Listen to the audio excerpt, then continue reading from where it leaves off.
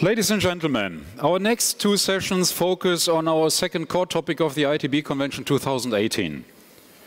The continuous increasing traffic cannot be managed with existing transportation systems. Gridlock seems to be unavoidable. Technological leaps are making entirely new transportation systems and seemingly revolutionary means of transport possible. What will the transportation system of the future look like? What role will Elon Musk's Hyperloop technology have in the future? Our next speaker is Dirk Ahlborn. Dirk Ahlborn is the CEO of Hyperloop Transportation Technologies Incorporated, HTT, and the founder and CEO of Jumpstarter Incorporated. Founded in 2013, HTT designs and builds a highly profitable, fastest, safest, and environmentally friendly transportation system for passengers and goods. Hyperloop first gained public interest when entrepreneur Elon Musk published a white paper describing the futuristic mode of transport that would transport people from Los Angeles to San Francisco in about 30 minutes. Musk handed the concept to the public and Hyperloop Transportation Technologies rose to the challenge. Our moderator now, after the presentation of Dirk Ahlborn, is Christoph Schlautmann. Christoph Schlautmann studied in Münster in Germany, and he has been working for the publishing group Handelsblatt, a famous German newspaper, since 1993. Recently, as an editor for Handelsblatt, one of the leading business newspapers in Germany, as I just mentioned. Before we start the presentation, we are interested to learn more about the audiences, about your opinion regarding revolutionary means of transport. So, ladies and gentlemen, let's now come to our live voting question. You see that you have remote control devices attached to your seats. Um, please press number one or two or three when I ask you the following questions. Do you think traveling via Hyperloop will soon become reality? If you think yes, please press 1. If you think no, please press 2. And if you think never heard of Hyperloop, then please press 3. Ladies and gentlemen, please vote now.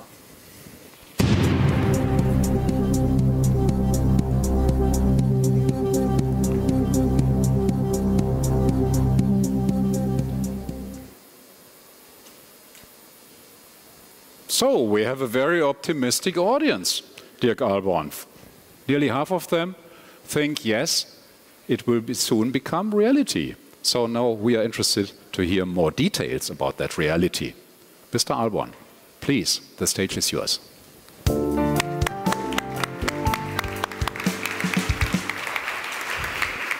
Right, good afternoon. My name is Dirk Ahlborn, as you just heard. I'm the CEO and founder of Hyperloop Transportation Technologies. And, um, well, we say we are transforming transportation at the speed of sound. Speed of sound sounds amazing, doesn't it? But what's Hyperloop? Who actually thinks that they know what a Hyperloop really is? You raise your hands. Well, I'll, I'll, test you guys later. So for everybody else, there's a little video that um, explains maybe even a little bit how it started and um, gives you a little bit of background. So enjoy. I have a name for it, name for it, which is called the Hyperloop. Imagine a capsule filled with people, right? You put this capsule inside the tube you create a low pressure environment inside the tube. So you have no resistance. And it's moving very fast from point A to point B. Capsule, very similar to an airplane that goes in high altitudes, uh, can travel really fast with very little energy. Is, is the main trick to it uh, the vacuum and the fact that there's no friction? Is that the, the main reason yeah. why it makes it so fast? Tesla founder Elon Musk proposed this new technology called Hyperloop, and it's being developed right now in Playa Vista, here in this hangar behind me. Company Hyperloop has teamed up with the students to create this tube technology that's designed to connect cities up to 400 miles apart. So when Elon published the document, he just drafted a possible way to achieve this. Two months later, my business partner, Dirk Ahlborn, took this document, published in our website, Jumpstart Found, and did a call to action. So, how are we doing this? We want you all to join the Hyperloop movement. And we have been like overwhelmed of requests from engineers from all over the planet. Mm. Uh, there were people from, you know, NASA, Tesla, SpaceX, uh, Yeah. Boeing, MIT. We want to give the, uh, our community that's supporting us the possibility to own parts of, uh, of the company. So we are creating the biggest crowdsourcing project in the planet. The company says it already has several potential investors and wants to take Hyperloop to China in the future. You have to consider that the Hyperloop is not a new idea. Um, humanity tried to build this system several times in the past. The race is on. Elon Musk's vision for a high speed passenger pods known as the Hyperloop is one step closer to becoming reality this morning. One of the known companies competing to capitalize on Musk's proposal, announcing today it has struck a deal with landowners in Central California to build the first full scale Hyperloop along a five mile stretch along I 5. We designed a system that is not only fast, but it can actually produce more energy than it consumes. It will change the way we live. It's possible today, it's based on existing technologies, and it's the right time, it's the right moment to finally get something doing like this. In 30 years' time, will you and I be sitting on our rocking chairs going, well, we talked about it then, and he did it? All right, so as I mentioned, these were basically a couple of uh, small clips put together out of the first couple of years. But to reiterate, what is a Hyperloop? So imagine a capsule filled with people or freight hovering inside a tube and moving really, really fast from one point to the other. Inside the tube, we create a low pressure environment. So basically, we have vacuum pumps along the track that take all the air out, so that now the capsule can go much faster with much less energy because it doesn't encounter any resistance. And it doesn't touch anywhere, it levitates. It levitates through a passive magnetic levitation technology, which is different from what you might know as the maglev, right? The Transrapid in Germany. A lot of the times is very expensive. Our technology is actually much safer and much cheaper. Here's a little bit how it works. Using magnets to move and elevate trains is not a new thing. But this method hasn't been efficient enough to make sense on a large scale. The primary reason? Simple. A vast amount of energy is required to power the system. 20 years ago, a team of engineers from Lawrence Livermore Labs began the work that would solve those problems. For more than two decades, they've researched a full scale functioning prototype. And in that time, they discovered how to arrange magnets over an aluminum track in such a way that the track uses almost no power, making it much more efficient. At Hyperloop, we've picked up where they left off, adapting that revolutionary system for commercial use. There are several ways in which our system, using passive magnetic levitation, is safer and more efficient than maglev technology currently in use. Let's start with efficiency. Regenerative braking during deceleration recovers much of the energy used for acceleration. Power stations are not required along our track, making our system more affordable to build than previous levitation systems. Let's talk about safety. Only when the pod slows and returns to a safe speed will it gently touch down on the track once again. A comfortable, natural occurrence with our magnetic levitation system. At a slow, comfortable speed, the capsule rises up from the track. This levitation remains steady and constant through the duration of the journey. We find the smartest technologies and look for ways to improve them. You'll find this approach repeated over and over within every aspect of HTT innovation.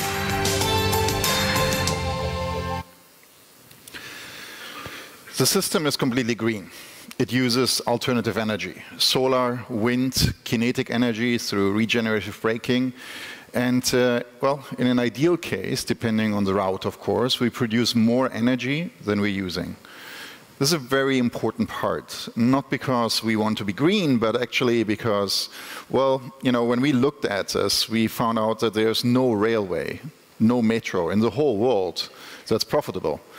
They're all relying heavily on government subsidies. So here, because we're using very little energy, because it's automized, we have very low operational cost, and in addition to that, we produce our own energy, we can even be profitable in a very short time span. So most of the studies that we have done show a return of investment somewhere between 8 to 12 years, which is really amazing. But why? Why should we care about what we call the fifth mode of transportation? This is why. Traffic.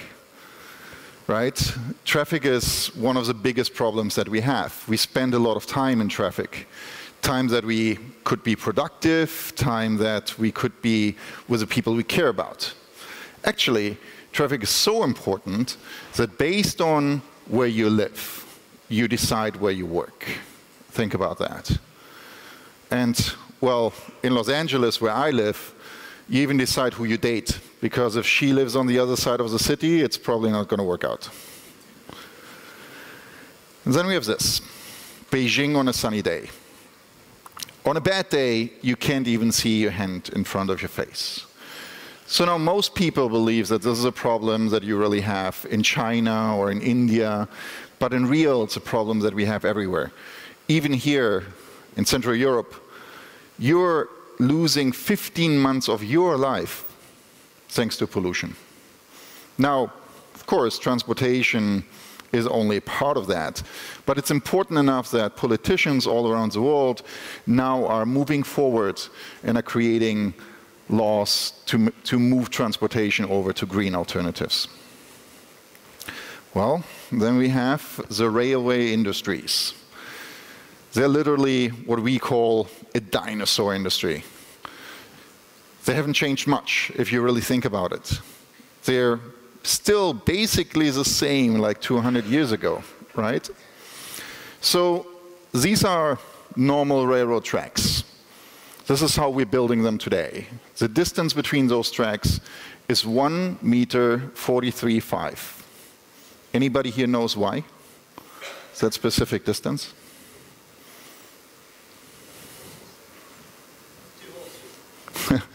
Yeah, the Roman carriage, right? So just think about that. Let it sink in for a moment. In 2018, we're building new infrastructure based on the butts of two horses. Right? That's how much innovation we have done there. Amazing. And then, as I already mentioned, cost. So this is an example from the Los Angeles Metro, where they're making 76 cents per passenger and $2.50 for each passenger actually coming from taxpayer money. Now, of course, you can say, well, it's Los Angeles, everybody is taking the car, that's why you're all standing in traffic, and yeah, there might be some truth to it. But even New York, which is one of the most used metros in the world, loses $2.2 billion every single year. Germany subsidizes their net rail network with roughly 22 billion euros every single year. And that's really like that all over the world. But how would our lives change if we had a Hyperloop? Well, actually another problem are airports, right? They're overflowing. We're building more and more of them. They're fairly close to the city. With a Hyperloop, we could connect these airports and can, could make them become terminals, actually. So imagine, right, whenever BER is finished, connected to Tegel, and it's actually just, you know, another terminal. You're there within minutes. Or you can build them much further out and still be there within just a couple of minutes. When it comes to freight, we're able to connect Asia to Europe within hours rather than within weeks. You know, and those ships that are moving the containers, they're not that great for the environment either. We could be enabling literally an on-demand economy. But most people really get excited about living wherever you want. Live in one place and work in another. Think about satellite cities. Cities overflowing. Everybody wants to be in the center. Now with a Hyperloop, we're able to build cities much further out, connect them and be in the city center in just 10 minutes. If you want to have a house with, you know, like in, where I live, and you don't want to risk to get shot in the front yard, you have to spend at least a million dollars. Here would be much cheaper, and just with the difference in the real estate value, you would actually finance the system. But how are we going to do this? Well, so when we looked at the feasibility of the system, turns out the technology already exists. It's used in a lot of different areas. We know how to do this. We know how to levitate a train. We know how to move a train. We know how to build pylons and tubes. We know how to create a vacuum inside a tube. Actually, this is a picture of the CERN Hadron Collider in Switzerland. And the pressures inside those tubes, the vacuum inside those tubes, is 100,000 times more difficult to maintain than the one that we need.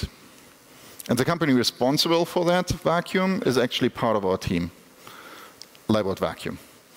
Alternative energy is basically a safe bet. It's very similar to the silicon chip. It gets better and better and cheaper and cheaper every single year. So today, in California, with the latest solar technology, we are capable of covering our complete energy costs. And tomorrow, that's going to be even cheaper and better. But we're doing something else in a completely different way. We're building a company in a completely different way. And that's one of the reasons why you probably have at least heard about the Hyperloop, right? Because when you talk about a train or a metro, this is where it's happening, behind closed doors. Maybe you hear that they're planning something, maybe you hear how much it's going to cost, but um, that's kind of it. We do something that we call crowdstorming. So we actually work with our community, we work with you.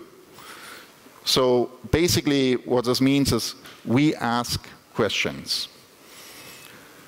So we have the unique opportunity to build a transportation system the way you would do in 2018. And, well, that means that you question everything. Just like if it would never have existed. How would you build a transportation system today?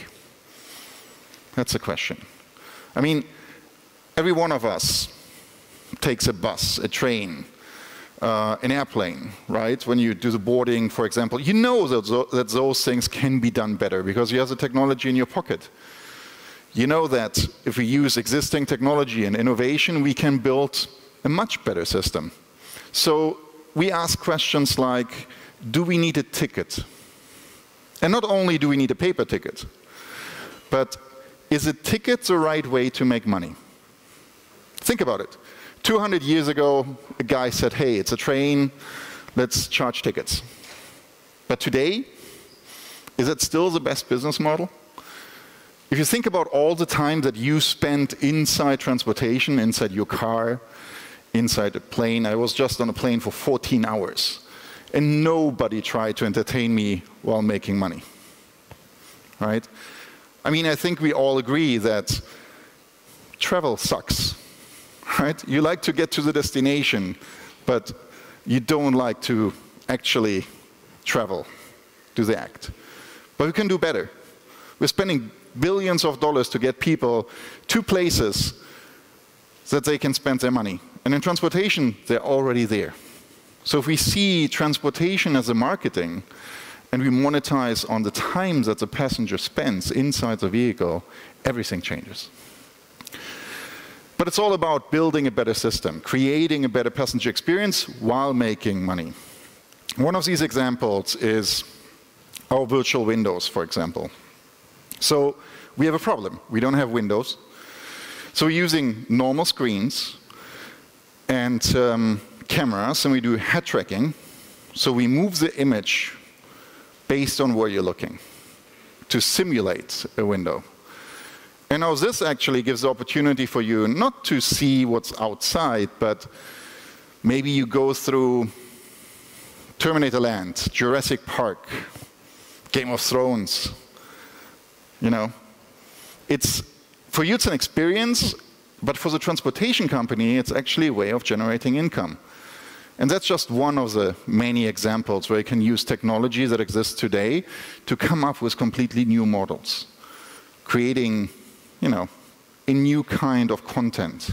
Think about it, between subway stations, now you're actually, you know, going through Jumanji, just as one of the examples. All right, but why? Why are we working this way? So when Elon Musk proposed this idea in 2013, I was part of a non-profit incubator that was funded by NASA. And we were working on a new way of how to build companies. You see, you do everything online today, right? You get your groceries online, you get your dry cleaning online, you can find your boyfriend, girlfriend online. In America, you can even get divorced online.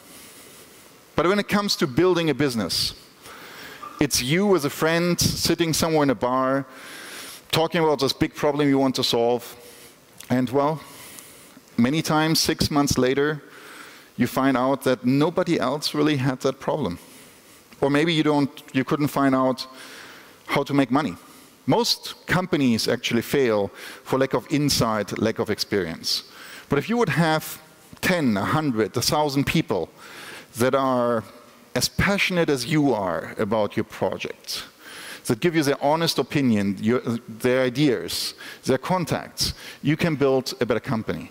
So we built this platform, and when Elon Musk said that he didn't want to do the Hyperloop because he was too busy with Tesla and SpaceX, but he wanted someone else to pick it up. We reached out, asked for permission to put it onto the platform, and asked our community, should we be doing this? And not only did they say, yes, you should be doing this, but they actually said, hey, I want to be part of this. So we incorporated the company, got a small team together, and said, everybody who would like to join and work in exchange for stock options in the company, please apply. We got around 100 applications got a team together, sorry, 200 applications, got a team together of around 100 engineers, and started working on the feasibility study. The feasibility study was finished at the end of 2014, so that's when we knew, okay, this actually can be done, and it makes sense to do it. And today, we're over 800 people all around the world, in addition to over 47 companies, most of them working for a participation in the company. And we have thousands of people in our community that we crowdstorm with. So the Hyperloop is not a new idea. It has been around for actually quite some time, hundreds of years. People have tried this, and they failed. But they failed because it was always depending on one company, one government. So we realized we had to do more than just build a company. We had to build a movement. And that's exactly, exactly what it is today. There are several companies, many universities all around the world working on the SpaceX competition. You hear about Hyperloop all the time. It's a movement. Actually, now it's becoming an industry. We're a global company, but we're also local. So we're kind of global, right? We have offices in Los Angeles, in Barcelona, in Slovakia, in the Emirates, and we're opening up our R&D center in Toulouse. Some of the companies that are working with us are literally leaders in their fields. Atkins, construction engineering. It's one of the largest engineering firms in the world. They are the ones that did the Dubai Metro, just to give you guys an idea. Carbures is a supplier for Airbus and Boeing that do the fuselages for the airplane. Leybold Vacuum, mentioned them earlier. They are the inventor of the vacuum pump several hundred years ago and many, many more. Right, so, but when? When are we going to see the Hyperloop? So for the last five years, we have been very busy. We've been working on technology, integrating it, licensing, creating patents, doing deals, and, well, we're ready to build. So version number one is ready. There's going to be a version 212 one day, no question. But um, the first one is ready to be done. Actually, we started. We started manufacturing the, the world's first passenger Hyperloop capsule with our partner Carbures in Spain. The capsule will be manufactured and will be ready actually, we started last year. It will be ready, I think, around June, July and then go to Toulouse in order to be assembled and integrated. All right, so now I've been telling you the whole time that this is all so easy and, um, you know, it's just like, hurry up, just build it. But there is actually a problem. There's a big problem. You see, there's never been a Hyperloop. And it's not a train, it's not an airplane. So you need a completely new set of rules, regulations. And this means working with politicians.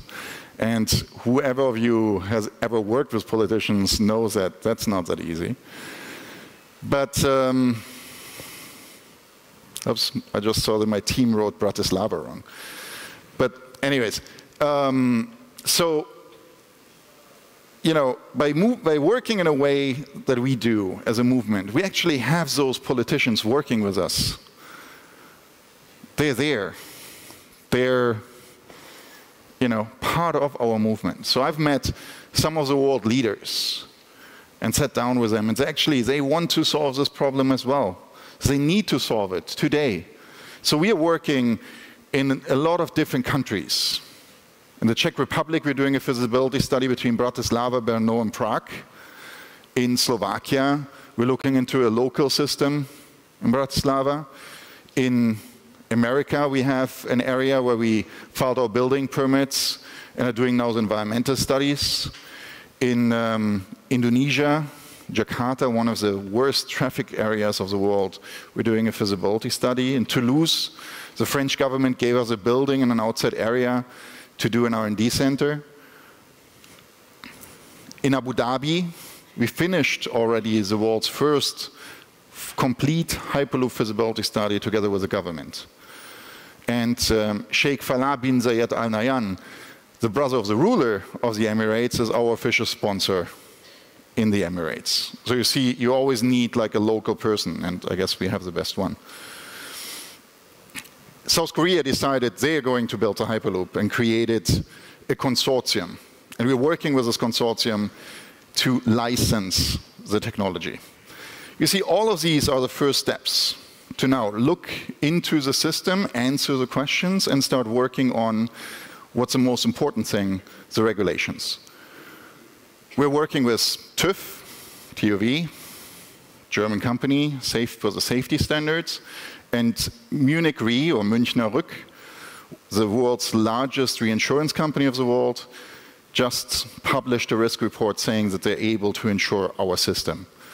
So these are the important steps to move forward with commercialization of the system. We announced a feasibility study Dreams in America. That's the last video, and then I give, get off your stage. cloning woolly mammoths, and colonizing Pluto. Dreams where we zip across the country in tubes at 700 miles an hour, powered by sunlight and magnets. Five years ago, it was literally just a dream. The problem is, when the time comes for all those dreams to get made, the dreamers don't know where to go. To build dreams, you go to cities unafraid of work and people known for making things. Big things like aviation and smaller things like tanks. The kind of talent that we have at our disposal here is amazing. I have been in transportation and infrastructure for over 30 years. Spent 17 years as a scientist and an executive at NASA. I'm the chairman of the industry-based led Aerospace and Aviation Council. I attended Yale University and started a career in aerospace uh, at McDonnell Douglas. Where do you go to make dreams, to build them with metal and glass in your own two hands? You go to cities like Cleveland and Chicago, Pittsburgh and Detroit, places that have had dreams and then made them. We absolutely have the manufacturing. We have the raw materials. We do it cost effectively. Uh, we have a tremendous amount of work ethic uh, and, and really, really strong resources. The Midwest is a place that drops a welding mask over its face and gets to work. And that's why we can't wait to build America's first Hyperloop here. It is quite amazing to see how many partners Hyperloop Transportation Technology already has with academic institutions, with government institutions, with the private sector. Flying 700 miles an hour through a tube using magnets and sunlight isn't a dream. It's a we're building this and coming to the Midwest to do it thing. We've already got a prototype thing. Millions in funding to survey it thing. First stop, Cleveland to Chicago in under 30 minutes, connecting the makers of muscle and metal and rock and brick and mortar of this country. You're going to see Hyperloop transition from what is in the past been perhaps a dream of how fast we can go, how can we send people more quickly to different places. It will eventually become a utility. This is something people will talk about for generations. When your grandkids are uh, telling you about this, this new cool Hyperloop train they got to be on, you can say, you know, I was there when they just started. So let's get to work. This thing can't wait any longer. All right, I guess you guys want me to answer some questions, right? So um, I got a little bit confused by the by the time, but thank you.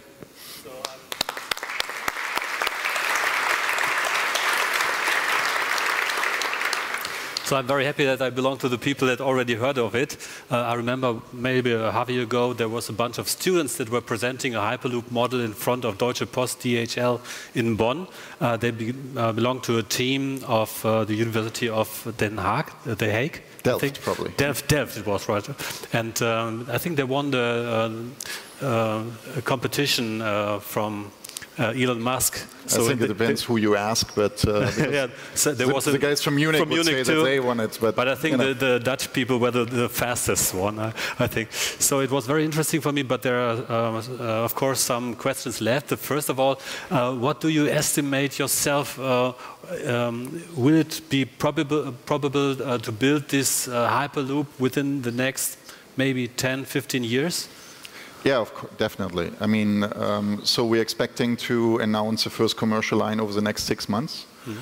And uh, from there, it should roughly take three years for construction. Um, the, the issues are more regulatory. So three years until you and me can mm -hmm. go really? take a ride. There's actually going to be a lot more uh, news coming up later this year. Um, so stay tuned. But um, yeah, so once it's built, you know, then it's going to still take quite some time until you're going to start a little bit slower, and then, mm-hmm. you know, it's uh, that's just the time it takes. But building it and demonstrating that you can run it and that it makes mostly economical sense because that's a real problem that we're having in the world. Um, you know, that's something that's going to happen fairly fast. For me, it is quite astonishing. Uh, once I, I drove from uh, Los Angeles to uh, San Francisco, and I think it's about 500 kilometers, correct me. Yeah. So, uh, is it really possible to build a vacuum, vacuum pipe on, uh, with that long distance? What is, what is, well, is it's not much different than, than building pipelines, right? And pipelines have been but built. But it's high pressure or an anti-pressure. Well, I mean, gas lines are fairly mm. high pressure as well. So, mm. you know, it's uh, again, uh, I'm astounded by all the things that we do all day, uh, all, all, day, every day, and all the technologies that we have in our pockets. That's actually fairly simple. Okay. So you have vacuum pumps along the track. Huh? Um, the system moves, of course, but all these technologies are already there to compensate. And it doesn't, I mean, you know, you have those pumps that are, that are basically making sure that you maintain the pressure. Of course, the pressure varies a little bit, mm -hmm. so you okay. always have, you don't have a constant one. Mm -hmm. And it's not a complete vacuum. That's what people don't really understand. Mm -hmm. It's a very low pressure. So it's comparable with going roughly 30 kilometers above the ground, right, above sea level but it's not a complete vacuum. And um, a complete vacuum is very difficult. But uh, a low pressure, you know, okay, is, okay. is much easier. What will happen if there's an earthquake? So it's a, this, uh, that region, there's a San Andreas fault. I think it's it's uh, rather common that there's maybe So- maybe the, the pipe is damaged. What will happen to the capsule in, at that moment? So when it's, um, I mean, if you're right at the moment of the earthquake above the fault, there's probably not much you can do. Um, but, you know, that's like everything else if you're right there. Um, the system is still much safer than anything else. So a train that's on the ground, for example, can compensate. We are on a structure, so you're on pylons, you can compensate for the Earth movement. Um, pipelines have been surviving earthquakes that are 8.0 for quite some time, actually since the 70s. So, you know, we have technology to compensate the Earth movement. It's I don't want to say it's, it's not a problem, but it's something that you can, you know, account for. And um, it's actually one of the advantages of the system. Okay. So in your presentation, you said there uh, you can think about um, uh, commuter pipes. So from the from one airport into the city and back on whatever. Um, I always thought it's um, going by a speed of more than 100, uh, 1,000 kilometers per hour. So is it useful to, to drive this capsule with, with that short distances? I mean, yeah, my car can drive 200 kilometers an hour, but most of the time I don't, right? So its speed is something that uh, is a result of all the different elements that the system has. So I can go right below the speed of sound.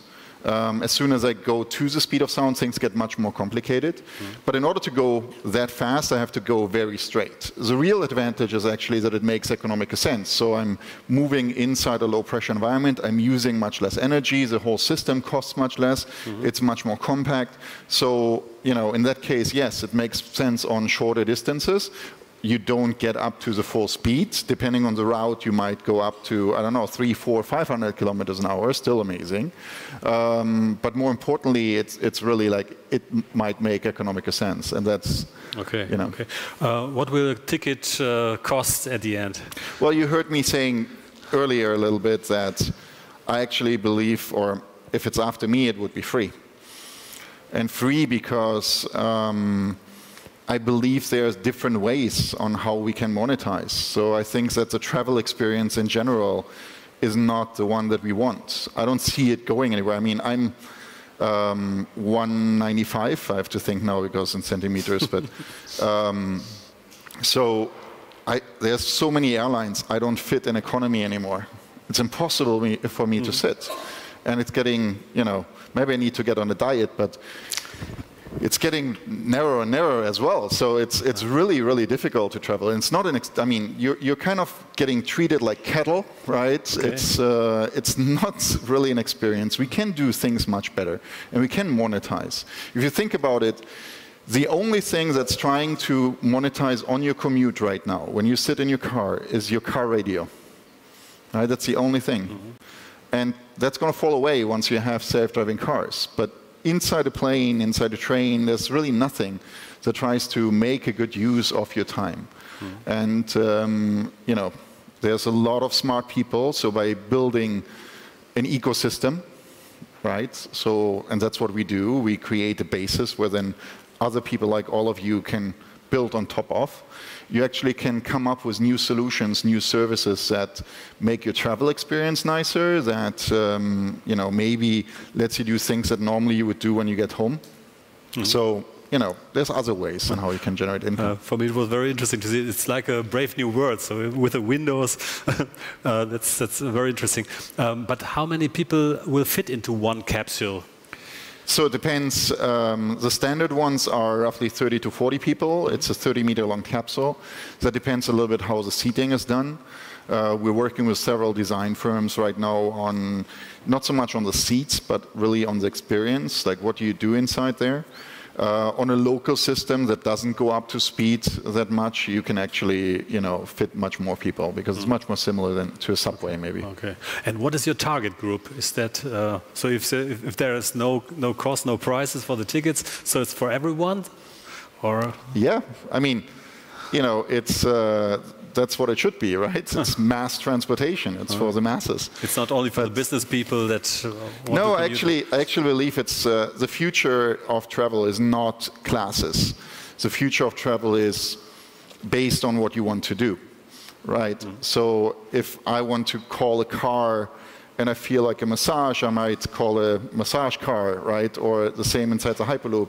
If I'm on a date, I might you know, I might use a date department, right? So a little bit, something a little bit more romantic. Or if I'm on a business trip, maybe there are tools that help me have more efficient meetings. Mm -hmm. So first class, second class, economy, that doesn't really make sense. It's mm-hmm. more about the experience, what you want to do, what you want to achieve while you're traveling. Based on that, you might be willing to spend a little bit more, spend less. And uh, in addition to that, there's a lot of services that you can offer. Mm -hmm. Well, that's interesting.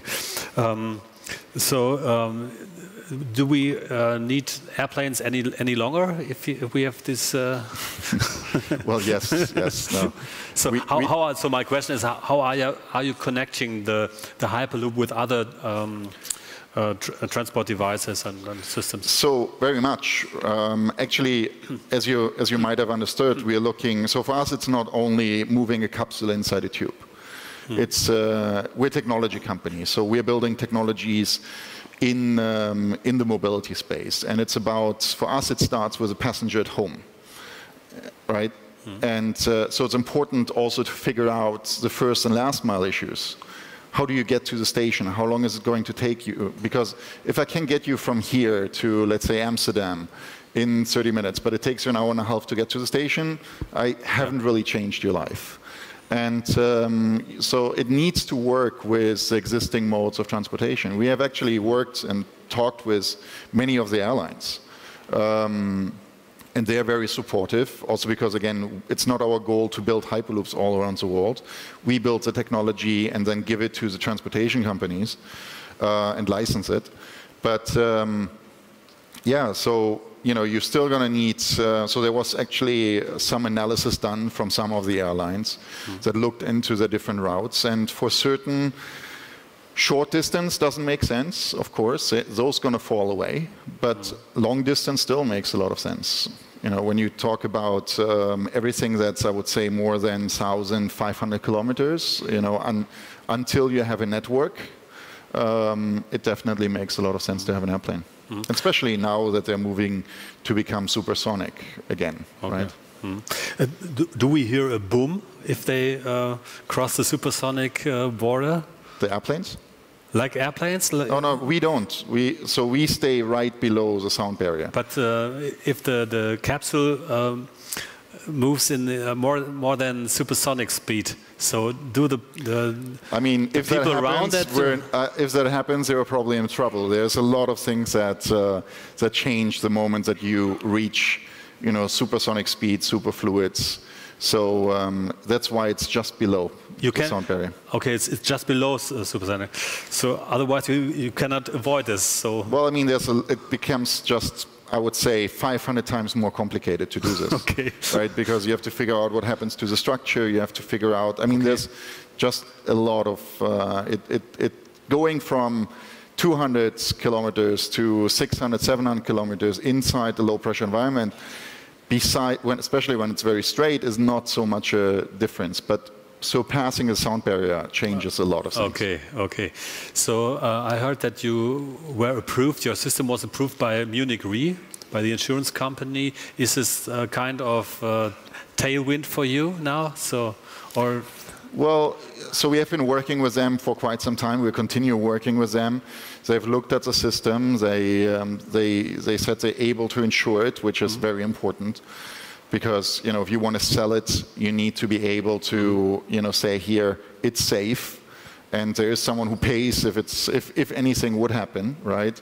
Um, so it's a very important step for commercialization of the systems in order to to sell the first couple um, it's absolutely necessary that together with the license, maybe we also give the insurance. Mm, okay. There are some other guys that are trying to build a Hyperloop themselves, like uh, Richard Branson or uh, Ben Brogan. Uh, are these kind of rivals for you, or are these partners maybe? So, as I, as I explained earlier, we were the first company actually out there. Mm. We started in 2013, and then um, the others joined. Um, it's, it's really from the beginning as well actually thought like this. You don't want to be the only one. You need to have competition. Um, it, it's, I mean, for the general public, it doesn't really matter. They're all just like, just build this thing. And um, for us, it's the same. I mean, personally, I believe that we should celebrate our, all of our achievements. Um, however, you know, there's I think, a lot of differences in the companies. We, in general, see ourselves a little bit like the, you know, the one that's embracing them all. And mm-hmm. if they develop a better propulsion system or levitation system than we do, well, we're happy to use it as well. So it's not the market is big enough. It's a completely new industry that's um, that's mm-hmm. being born, and uh, it, it, takes a lot of bright people to come up with something. Our model helps us to partner with these. Um, in their cases, a lot of the times there are a lot of ego involved, and they don't want to, but uh, you know that might change in the future. Mm -hmm. But I think there's a lot of difference in the vision, right? So what you've heard earlier, I think we're trying to think everything through and um, really make sure that we build something that changes the world the way that we expected and probably you guys expected as well. Okay, so my last question is what is in your view the, the, the biggest obstacle, maybe a regulatory obstacle uh, for, for the Hyperloop? well, you know, you, you already said it. It's, innovation can go really fast. Politicians are not that fast, right? So it's, it just really takes um, the willingness of uh, the politics to push this forward. And, um, you know, certain countries are a little bit more difficult. Europe definitely is much more difficult. Uh, America has the worst um, um right-of-way laws in the world. Mm -hmm. But there are a lot of other countries. And um, you know, I've met with Putin several times. I've met with Erdogan. I've met with Merkel, Macron you name it, uh, the different kings and probably most of the ministers of transportation in the world. And uh, luckily, you know, they, it, it is an issue. It's a problem. If, as I mentioned earlier, Germany alone spends over 22 billion euros every year. If we can, let's just say, reduce it of 10 percent, now that's 2 billion that you can spend somewhere else, maybe in mm-hmm. education, right? So it's important. Okay, Dirk, thank you very much. Thank you. I think in the end we have got uh, another live voting, so maybe we can show it. So, right, thank you. It's, it's, thank you very much. So.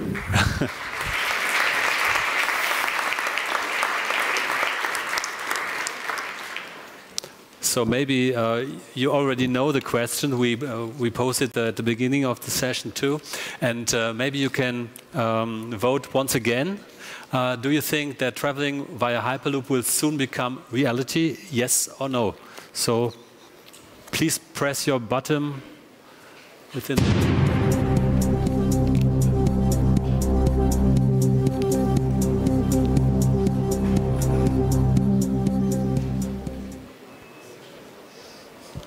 Ah, th thank you very much. I think uh, it was a very uh, interesting uh, session, and many of you are now convinced that it will become in the future. So thank you very much for your vote.